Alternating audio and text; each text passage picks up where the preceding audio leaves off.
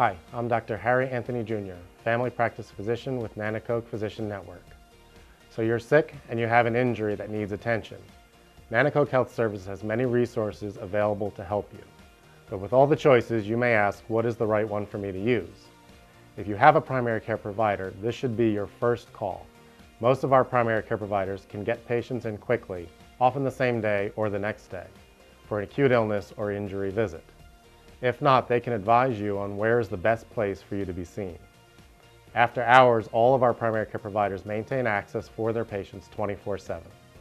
By calling and speaking to someone, most often you can avoid an unnecessary trip to the ER.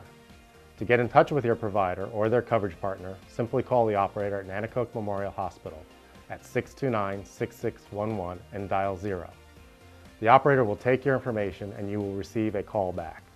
If you do not have a primary care provider, I would encourage you to establish with one. Partnering with a primary provider to develop a personalized plan is the best way to keep yourself happy and healthy. If you are trying to decide between immediate care or the emergency room, here are some suggestions that may help. The immediate cares can provide very similar evaluations as your doctor's office.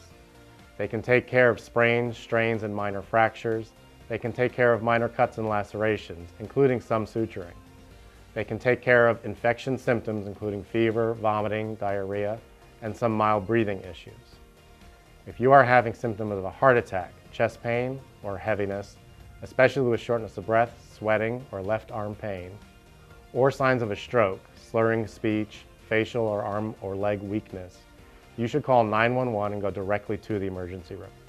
If you have a fracture, heavy uncontrolled bleeding, severe burns, severe abdominal pains, or have suicidal thoughts, you should go to the emergency room. Nanticoke Health Services is committed to providing the best possible care and in the appropriate setting.